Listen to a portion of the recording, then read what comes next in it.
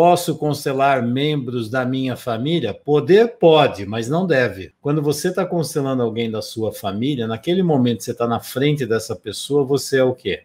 Um profissional ou você é um parente?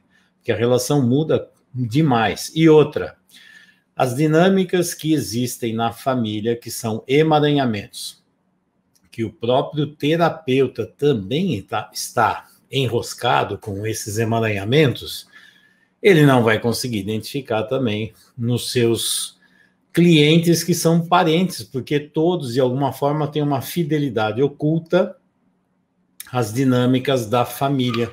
Então, se você faz parte da família, você como constelador está preso nas dinâmicas dessa família, quando você vai constelar alguém que é da mesma família, aquilo que você não enxerga nem em você, você também não vai enxergar nas pessoas que fazem parte do mesmo sistema.